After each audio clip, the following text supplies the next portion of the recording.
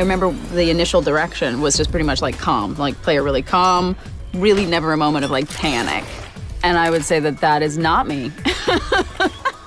Not my first battle. I've been to this rodeo before.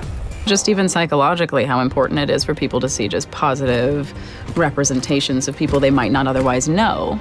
People who look like themselves or people that look like people that they don't necessarily know in their everyday.